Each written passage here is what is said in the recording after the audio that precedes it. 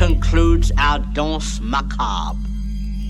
Portions of the proceeding were recorded.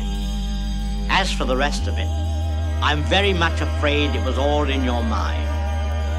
I don't intend to indulge in any post-mortem. If you haven't been murdered, I can only say, better luck next time. If you have been, good night, wherever you are.